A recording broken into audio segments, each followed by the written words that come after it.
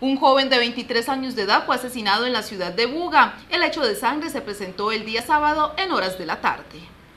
Después de 12 días de calma en la ciudad señora se presentó un nuevo homicidio, esta vez sobre la vía al batallón a la altura de la empresa Aguas de Buga. La víctima de esta incursión sicarial fue identificada por las autoridades como Julio Álvaro Barbosa Cano, de 23 años de edad. Según información entregada por el mayor Edwin Rojas, comandante de estación de policía Buga, al parecer a Julio Álvaro lo habían citado en este lugar y en el momento en que llega a este sector es ultimado de varios disparos.